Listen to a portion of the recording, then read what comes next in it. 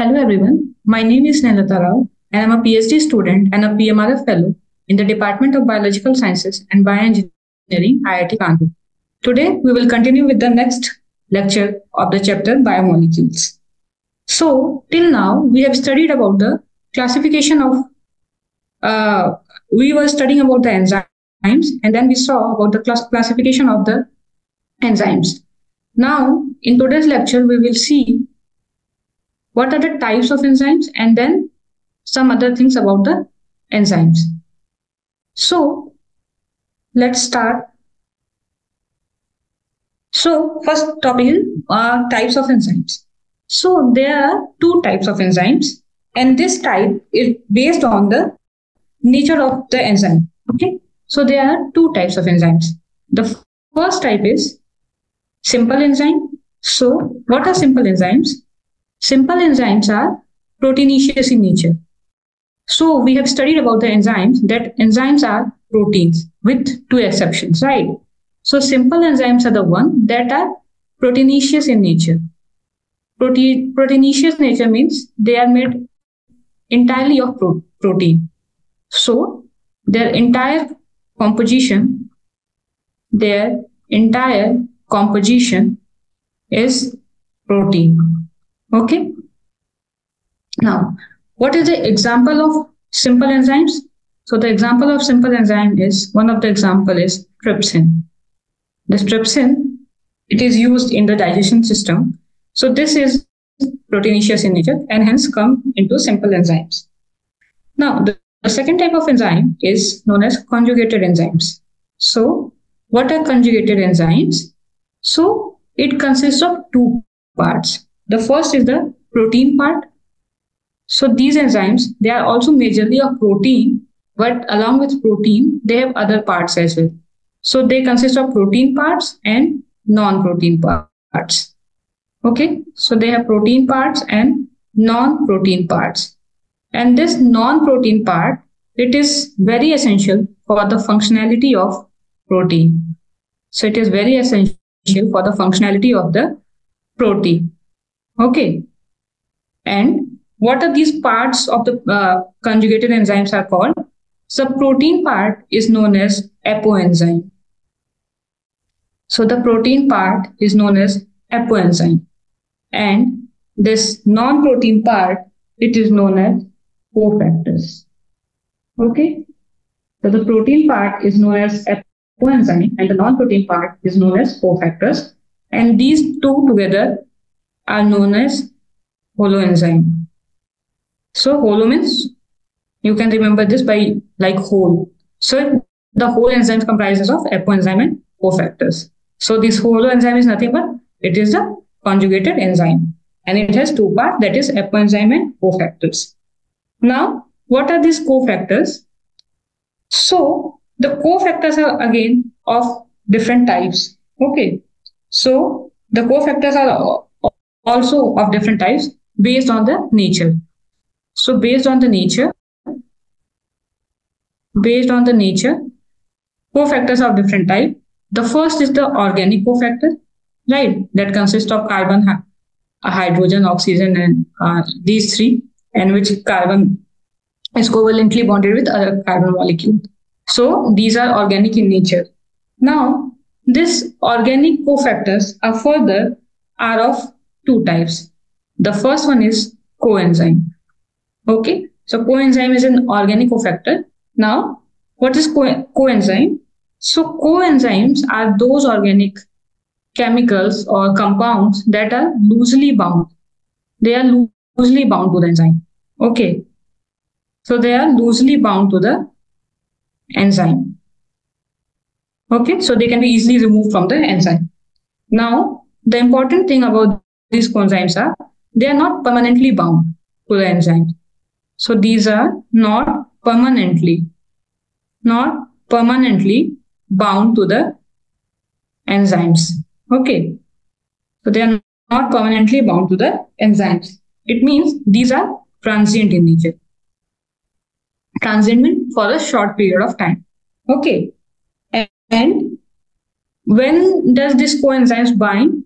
So because they are not permanently bound, So they binds to the enzyme when the substrate binds to the enzyme. Okay. So they bind when so they bind to the enzyme when substrate binds. So when bind when substrate binds. So when substrate comes and bind to the enzyme, at the same time, this coenzymes also come and bind to the enzymes, okay, and help in the catalysis of the reaction. Now, what are the examples of these coenzymes?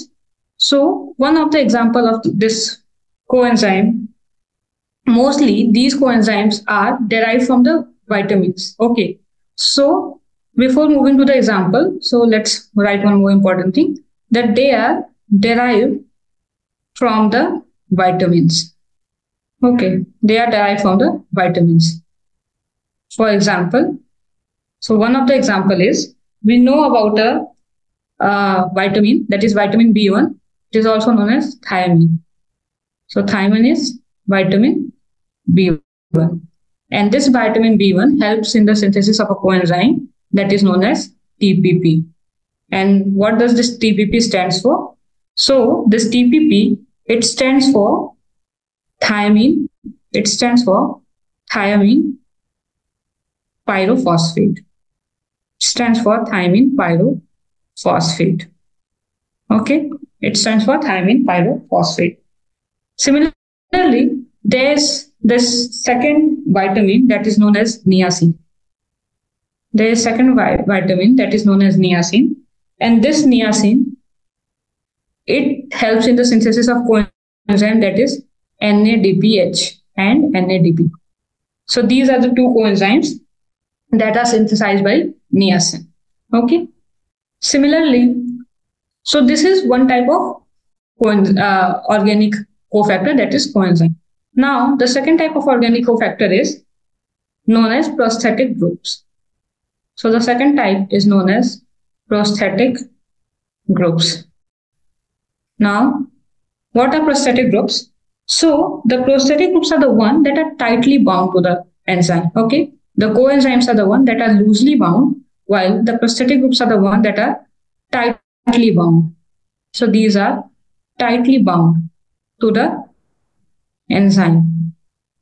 And also, unlike coenzymes, these are permanently attached to, to this enzymes. Okay. So they are permanently attached. These prosthetic groups are permanently attached by covalent bond. By covalent bond. Okay. And what are the examples of prosthetic groups? So one of the example of prosthetic group is heme. So heme is a prosthetic group that is present in present in enzymes like catalase present in enzymes like catalase and peroxidase. They are present in the enzyme like catalase and peroxidase. Okay. So these are about the cofactors and basically the organic cofactors. Now the next cofactor that we'll study is inorganic cofactor. Okay. So the second type of cofactor is inorganic cofactor. So inorganic cofactor. So they are inorganic in nature, such as it can be metals or non-metals. So it can be metal or non-metal. And since they are metals, so they attach to the enzyme, they attach to the enzyme via coordinate bonds. So they attach via coordinate bonds. Okay, the prosthetic groups, they attach via um, covalent bonds, while this inorganic compounds or inorganic cofactors, they attach to the enzyme via coordinate bonds. And what are the examples of inorganic cofactors? So one of the example is chloride ion. So chloride or this is chloride ion that is present in the salivary amylase. So this is present in the enzyme that is present in our saliva, that is salivary amylase. Similarly, the second inorganic cofactor is zinc ion. and it is present in enzymes like carboxypeptidase. So zinc ion is present as a cofactor in enzyme like carboxypeptidase and, and alcohol dehydrogenase. Alcohol dehydrogenase. Thirdly, one more important cofactor is magnesium ion. So this magnesium ion, it is present in one of the important enzyme of glycolysis that is hexokinase. When we will see, uh, study glycolysis, we'll see. So it is present in hexokinase and also in enzyme such as RuBisCO. So we have studied about RuBisCO, right? So this is the most abundant enzyme or the most abundant protein in the entire biosphere. And it is used in the photosynthesis. Used in photosynthesis, right? So this RuBisCO consists of magnesium ion that is an important cofactor for the functioning of this enzyme. So we have seen that there are two types of cofactors, organic and inorganic. In the organic again, based on their pattern of binding, they are divided into coenzymes and prosthetic groups. Now, next we will see about the graphical representation of how enzyme works. Okay, so in last class, what we had studied that how enzyme function. And we also wrote one equation for that. And the equation was that the enzyme, the substrate comes to enzyme, right? And it bind when it binds to enzyme, it forms a complex that is known as enzyme substrate complex, right? And we also remember that this step is reversible. That it means that this enzyme substrate complex can further dissociate to form enzyme and substrate, right? So this step was reversible. And this enzyme substrate complex, what it was called? This was called as transient state. It was called as transient state. Then this enzyme substrate complex was converted into enzyme product complex, right? So it was converted into enzyme product complex. And further, this enzyme product complex, in this enzyme product complex, the product got released and then this enzyme again get ready to bind with new substrate, right? So this transient state is not only enzyme substrate complex, but it also has enzyme product complex. So this complete state is the transient state. And what we know about a transient state? The transient state are short-lived. These are short-lived state. So they form for a very short period of time. Okay. Now, this was the equation through which we are showing how enzymes function. But if you want to represent it graphically, how will we represent? Let's see. So for graphical representation, what happens?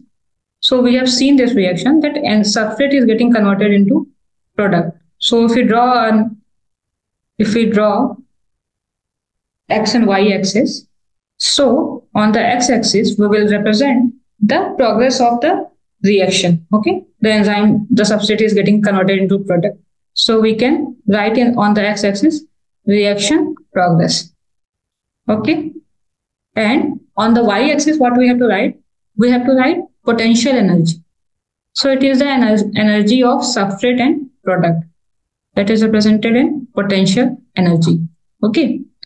Now, since first uh, substrate is getting converted into product, we will write substrate here, submere here, and the product that side here. Okay. Now, this substrate gets converted to the product. If you map it onto this or you try to represent it graphically, you will see a representation like this. So the substrate, if you see, it has higher energy, right? And the product has lower energy. But for our, for converting, uh, for the substrate to get converted into the product, it has to first reach to a even higher state of energy and then it drops and then get converted into product. Okay.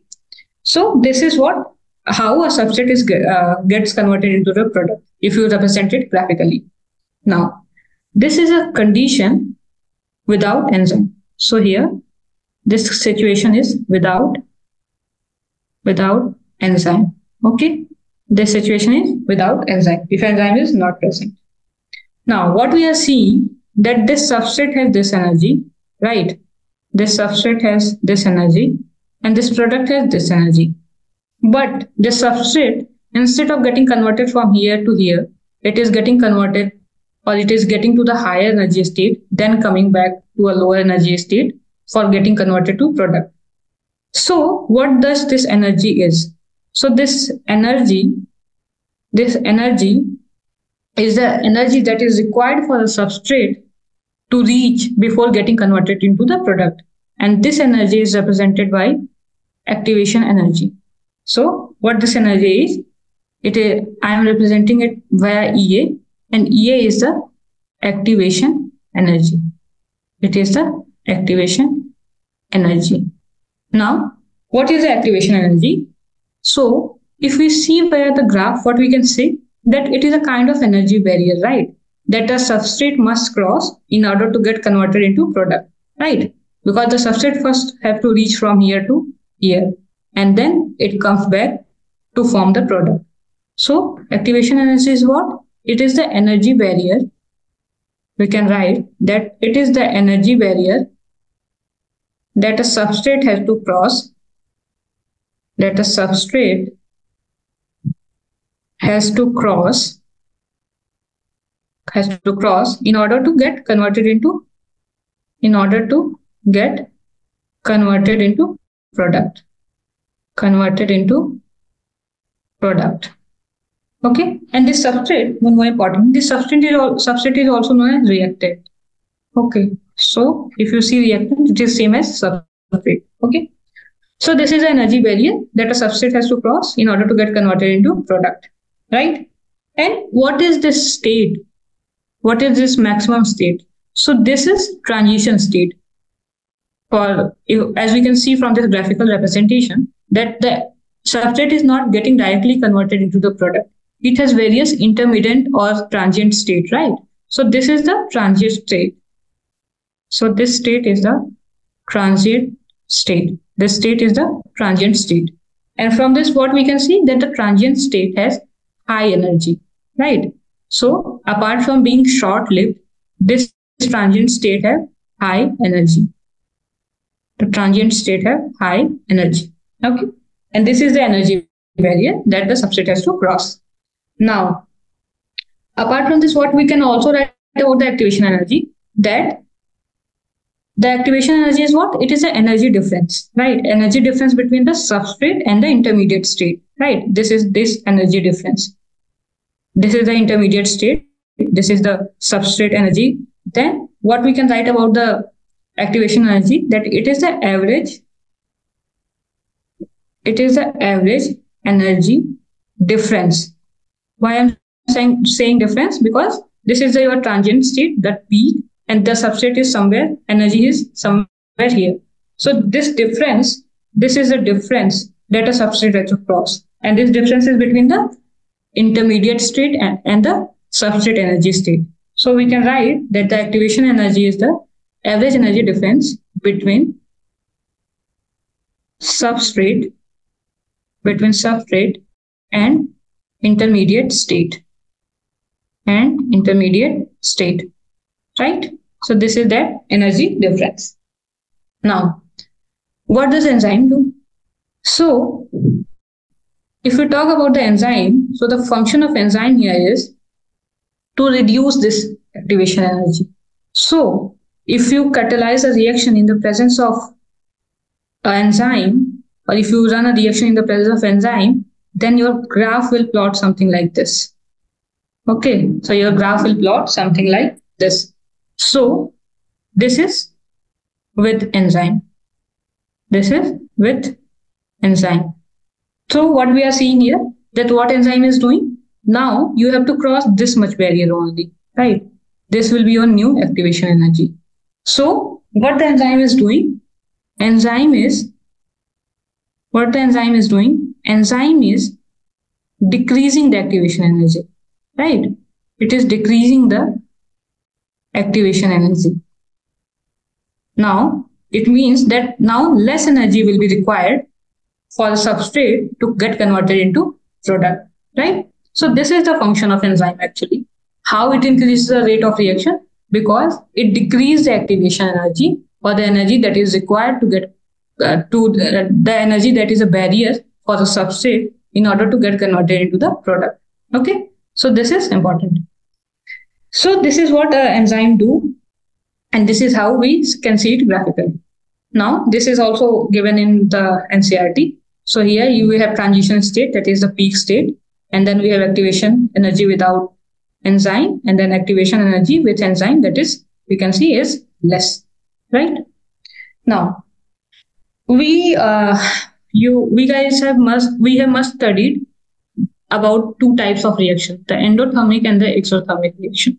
Now let's see briefly that what are these reaction and how do we represent it graphically okay?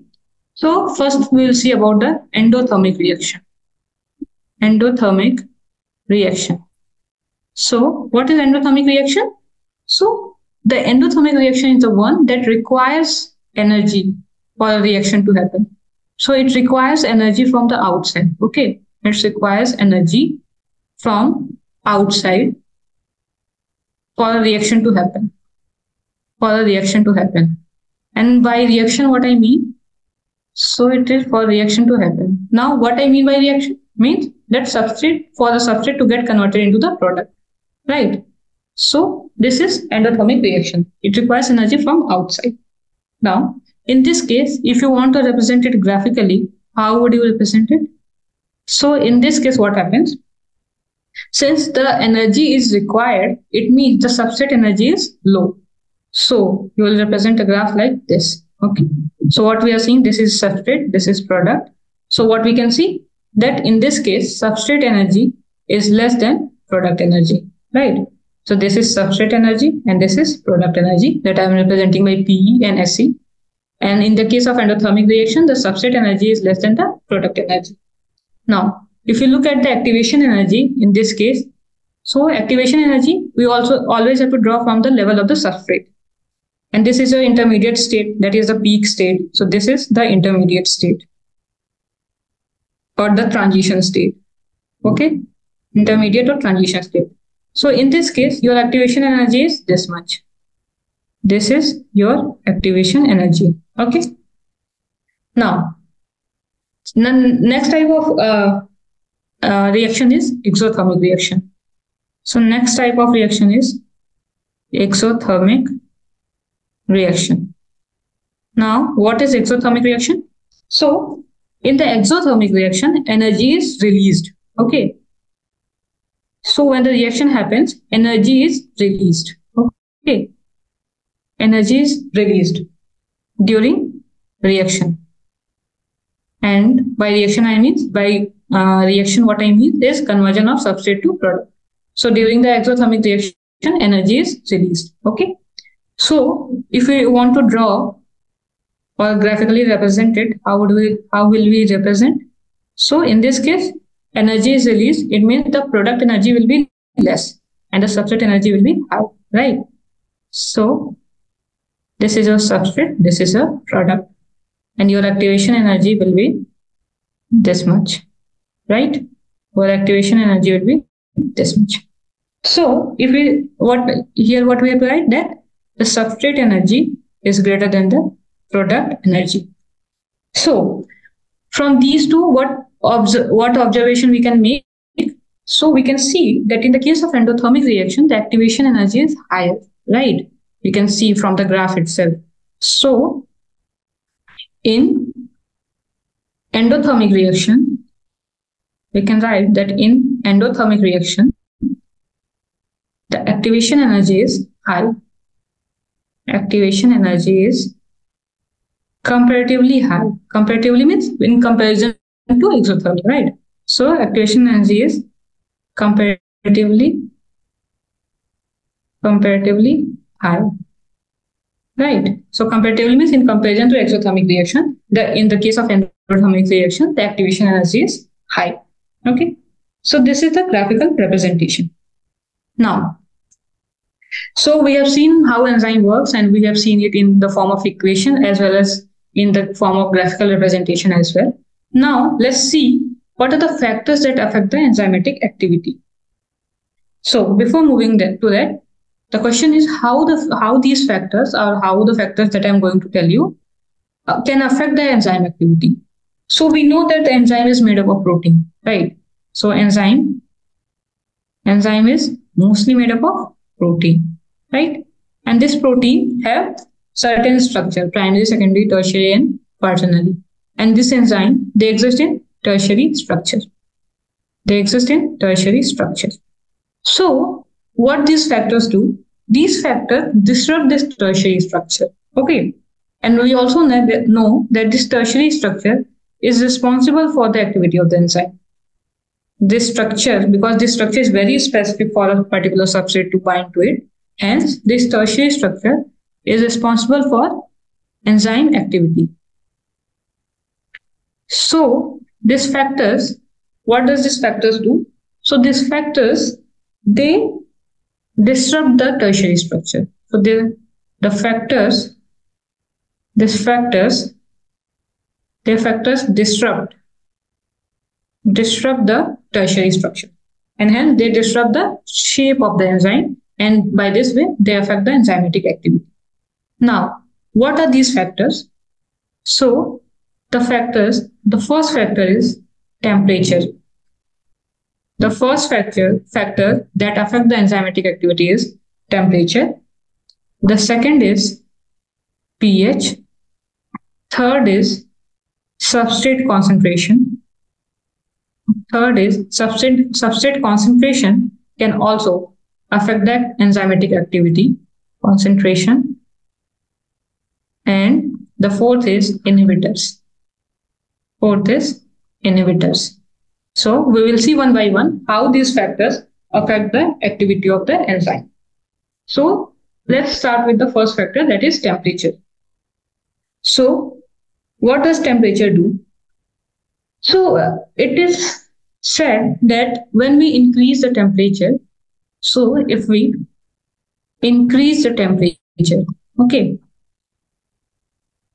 if we increase the temperature, to certain extent, then the activity of enzyme increases. Okay.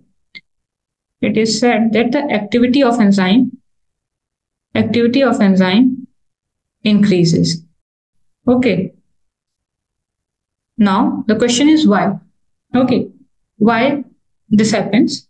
So it happens because we have studied when we were studying that how enzyme functions or so what we saw that the substrate comes and bind to the enzyme's active site, right? Substrate come and bind to the enzyme active sites. And how does this substrate reach the active site? They reach via diffusion, right? So we know that substrate reach enzyme active site where where diffusion okay where diffusion now, when we increase the temperature, so we know that the diffusion increases. In the chemistry class, you will study this in detail that why this happens. But if you will increase the temperature, the rate of diffusion increases. So that's why when we increase the temperature, I'm representing increase by this. So increase temperature, what it does, it increase the rate of diffusion. Increase the diffusion rate. Okay, to increase the diffusion rate. And once the diffusion rate will be increased, then what happens? Substrate will bind more rapidly to the enzyme. Right? So substrate will bind enzyme active site very rapidly. Active site very rapidly. Right? And if it binds very rapidly, then what happens? Then in this case, in less time, more enzyme will be converted into the product. So what happens? That in less time, more conversion will be happen. More substrate will be converted to product, right? More substrate will be converted to product. And because of this reason, the activity of enzyme will increase. But but if you further increase the temperature, so here what I said that increase the temperature to some extent. Okay, not like you double or triple the temperature if you increase the temperature to some extent. But if you further increase the temperature, so if if we further increase the temperature, then what will happen? If further if we further increase the temperature. So in this case, what happens? Enzyme shape will disrupt. In this case, enzyme, or you can write enzyme function or activity decrease, decrease or disrupt. It can also permanently disrupt. Now, why this happen? So why this happen? It happens because if you remember, enzyme is a protein. And we had also studied, when we were studying about the enzyme, we had studied about the denaturation of the enzyme. So enzyme is a protein. Or uh, enzymes are enzymes are protein mostly. Remember there are two exceptions, but enzymes are mostly proteins. Okay. Now, what we have studied about the proteins when the temperature is increased. So increased temperature, what does it do? It denatures the protein. So it denatures the protein. In this case, since enzyme is a protein, it will denature the enzyme. And what that denaturation means? Denaturation means that the enzyme will come into its native state or the primary state. So enzyme will come to primary structure state, right? Primary structure state. But we also know that the activity of enzyme takes place when it is in the tertiary structure, right? So one, if it will come to the primary structure state, it won't perform, uh, it won't uh, have its enzymatic activity, right? And hence, because its shape will disrupt. So the shape of enzyme will disrupt. Shape of enzyme will disrupt. And this will leads to this will leads to decrease in decrease or disruption in activity. Decrease or disruption in activity. So we understood that why upon increasing the, the temperature to a certain extent the activity of enzyme increases. And now we also saw if we further increase the temperature what will happen and why it will happen right?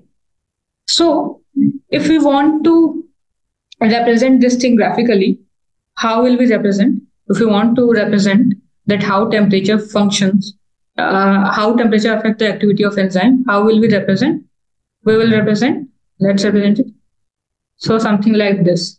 Now on the x-axis we will have temperature and the y-axis what we'll have? We'll have enzyme activity.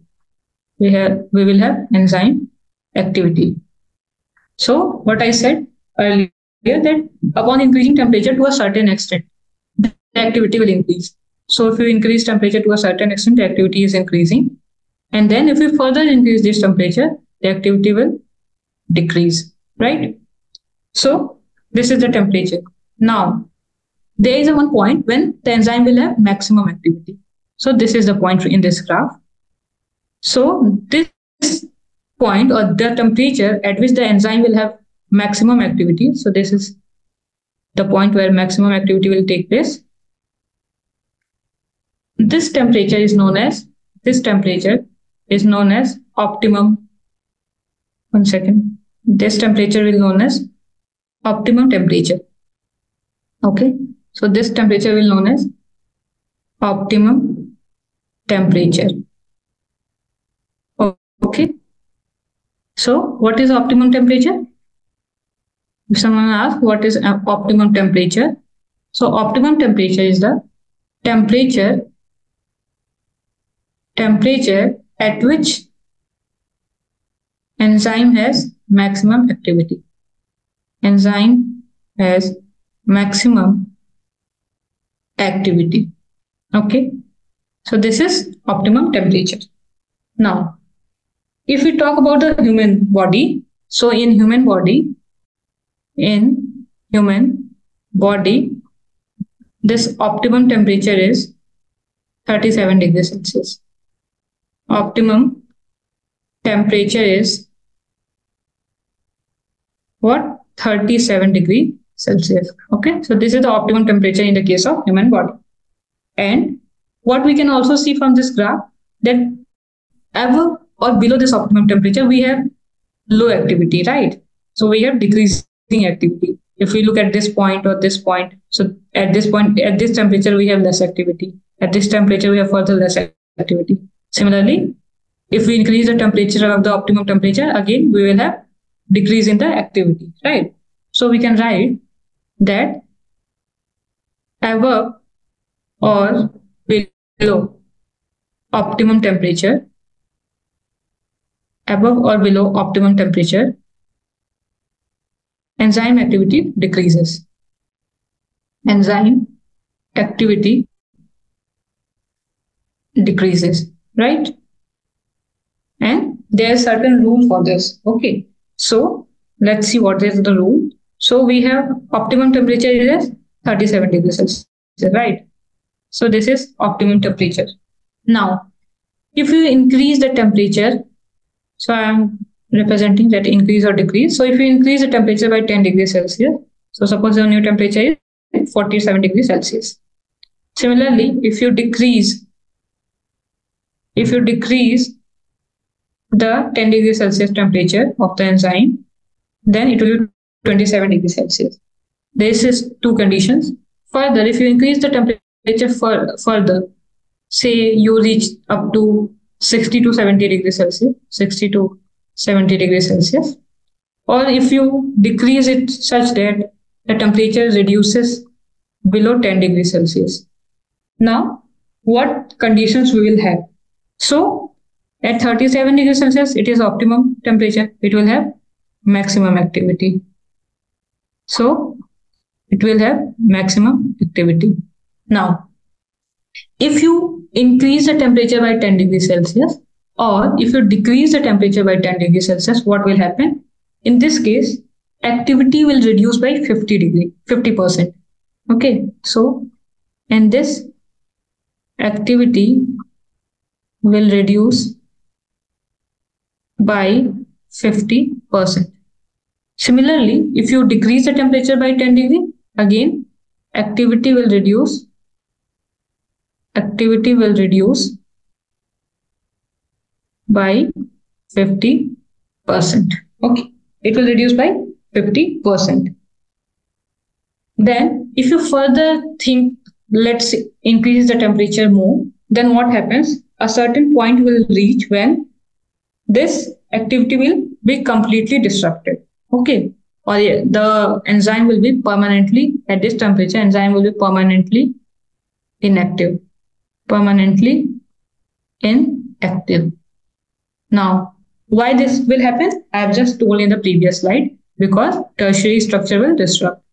Tertiary structure will tertiary structure or we can say shape of the enzyme. Tertiary structure or shape will disrupt. Will disrupt. Right? And once the tertiary structure will disrupt, then the enzyme will be permanently inactive. Right? Now, if we go below 10 degrees Celsius, what happens? Enzyme will temporarily be inactivated. Enzyme will get inactivated, be inactivated temporarily. Okay, it will be inactivated temporarily. Now, why this will happen? Because we know that the substrate reaches the enzyme via diffusion. But if you will decrease the temperature or if you go below 10 degrees Celsius, there will be no diffusion, a very slow diffusion rate. So this will happen because of slow or no diffusion of substrate. Okay. So it will happen because of slow or no diffusion of substrate because at this temperature, the substrate will not diffuse and hence it will not bind to the enzyme active site. So this is the thing that at optimum temperature, there will be maximum activity. But if you reduce or increase the temperature by 10 degrees Celsius, the, the activity will reduce by 50%. Okay. And similarly, if someone asks that if you decrease the temperature by 10 degrees Celsius, what will happen? Then activity will become double. What I am trying to say is, suppose if you, your enzyme is initially kept at 47 degrees Celsius And if someone asks that what will happen to the activity of the enzyme if it will kept it 37 degrees Celsius. So there will be 10 degrees Celsius difference. And in this case, the enzyme activity will be doubled. Okay. So you can write it like this. So this, in this case, enzyme, enzyme activity, enzyme activity 50%. But if the opposite case is there, if the opposite case is there, if this is the case, if this is the case, then what will happen? Enzyme activity, enzyme activity double. Right? Enzyme activity will double. Okay. So this is what uh, we studied about the effect of enzyme, effect of temperature on enzymatic activity. Now the next factor is pH. So for every enzyme, so every enzyme works at a specific pH range. Okay. So every enzyme works at a specific pH range. Specific pH range. Okay. And this pH range, why? Because this pH range, this pH range maintain the shape of the enzyme. It maintains the shape of the enzyme. Okay. It maintains the shape of the enzyme. So because of this reason, the enzyme works with a specific pH range. Now, what is the optimum pH? So like optimum temperature, what is optimum pH? So optimum pH is what? It is a pH, pH at which, first thing, the enzyme maintains its shape. Enzyme maintains its shape. So it is in its native or the original shape. So it, its shape is maintained. And secondly, have maximum activity. Have or you can write show maximum activity. Okay. Or show maximum activity. So this is the optimum pH. So uh, let's see certain examples of some enzymes and their optimum pH. So for example, the salivary amylase, the salivary, salivary amylase. So the optimum pH of salivary amylase is 6.8. Okay. The optimum pH of pepsin. What is the optimum pH of pepsin? It is 1.8. That is very acidic because pepsin is present in our stomach. Now, the optimum pH of trypsin is 7.6, that is alkaline in nature. So these are certain optimum pH of some enzymes. And again, if you want to represent it graphically, the activity of enzyme with respect to pH change. So this is your pH. This is this axis is enzyme activity. So it will have similar graph as that of substrate. Okay. So its graph will look, again, it will look something like this. Okay. And this is the pH at which maximum activity is happening. This pH is known as, this is known as optimum pH. Okay. This is as optimum pH. So this is about the pH. Now the next factor that affects the enzyme activity is the substrate concentration. So how does the enzyme affect the substrate concentration? So, because we just saw that substrate reach enzyme, the substrate reach enzyme via, via diffusion, right? It reaches enzyme via diffusion. Now, we know what is diffusion, right? So diffusion is nothing but movement of movement of substrate. Diffusion is movement of substrate, substrate from higher concentration from higher concentration to lower concentration, right? So it is movement of substrate from higher concentration to lower concentration. Okay. So if a substrate is present in large amount, right, then what will happen? So if we increase the substrate concentration, if we increase the substrate concentration. So what will happen? Because it moves from a where diffusion, it moves from a higher concentration to lower concentration. So upon increasing the substrate concentration, the diffusion, diffusion rate will increase, right? So there will be fast diffusion. Fast diffusion to the region where there is low substrate, right? Uh, on the enzyme, there will be low substrate. Then what will happen? It means that because there will be fast diffusion, substrate will bind rapidly to the enzyme. Substrate will bind rapidly to the enzyme, right? Substrate will bind rapidly to the enzyme. And again, there will be faster substrate to product, substrate to product conversion. Now, what does faster substrate to product conversion means? It means the enzyme will have high rate, high conversion rate. Enzyme will have enzyme will have high conversion rate. Conversion rate or catalysis rate. And this conversion rate it is also known as it is also called as velocity of the enzyme. Right? It is also called as velocity of the enzyme. So if there will be high substrate concentration, the enzyme activity or the enzyme velocity will be high, right? Well, uh, enzyme rate or enzyme velocity will be high. So, but this is the situation. This is the situation. Whatever I have just told, this condition will be followed when the enzyme concentration and the enzyme concentration will be greater than substrate concentration. Will be will be greater than substrate concentration. Okay. So this condition will be followed when the enzyme concentration will be greater than the substrate concentration.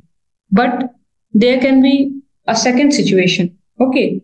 There can be a second situation in which they can, this is the first situation now there can be a second substitution in which the substrate concentration, the substrate concentration is higher than enzyme concentration.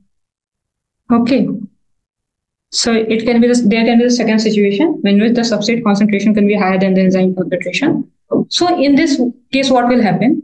So you have this, suppose you have 10 and 5 enzymes. You have 5 enzymes like this, right? You have 5 enzymes like this.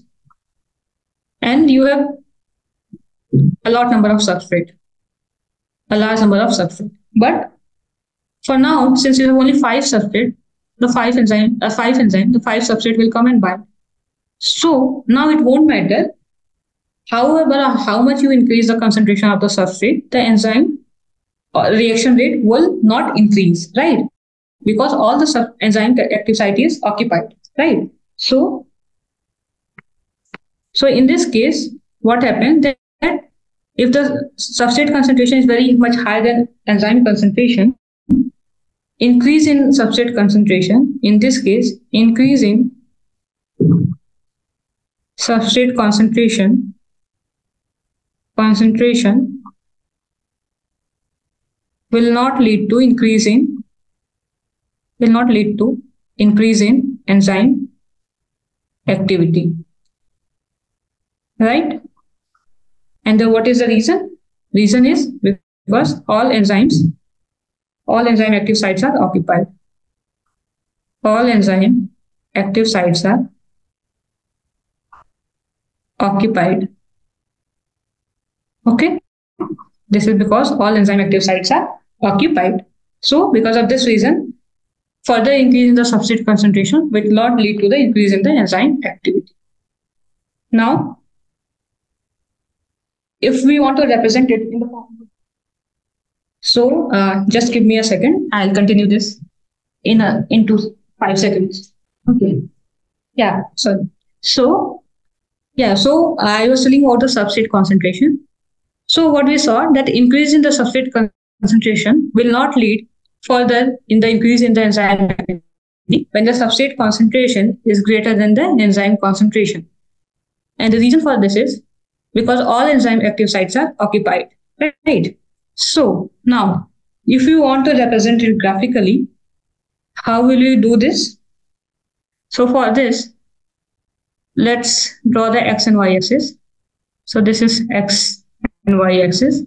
Now on the x axis, we'll have substrate concentration.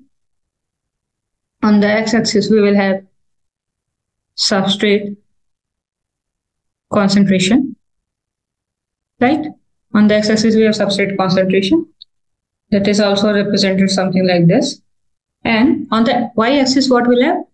We can write the rate of enzymatic reaction or the velocity.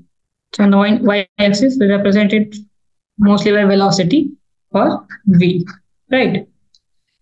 So what we saw that in the first case, when we will start increasing the substrate concentration, the enzyme activity will start increasing, right? It will start increasing and it will reach a point after which the substrate concentration will exceed the enzyme concentration and then the enzyme activity will not further increase and it will be saturated, right? So this is the velocity. This is the maximum velocity that the enzyme can achieve. So this is represented as Vmax. So what is Vmax? Vmax is the that velocity. So what is Vmax? So Vmax is the velocity or the rate of the reaction of an enzyme when all the when all the active sites of enzyme are occupied and all the active sites of the enzyme are occupied.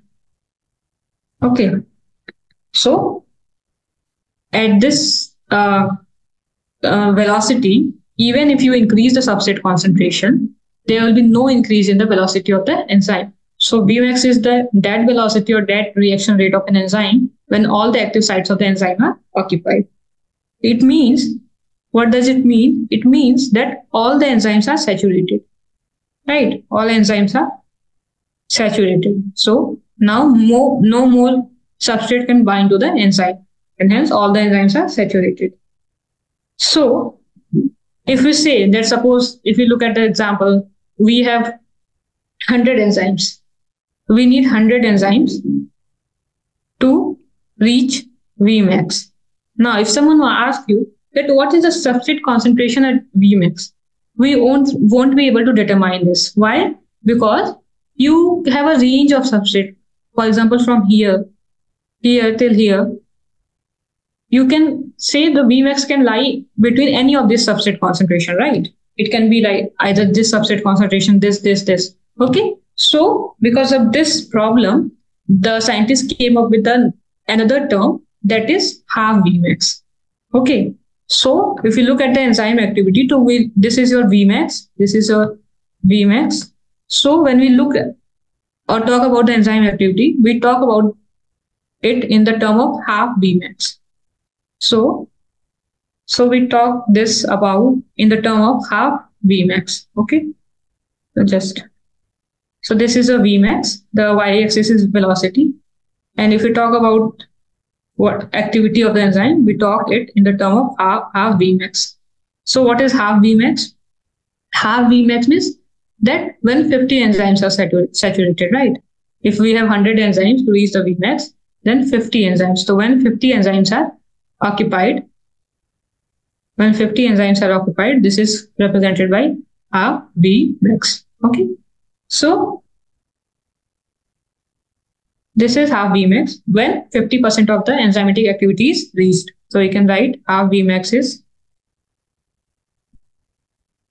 when 50% activity is reached.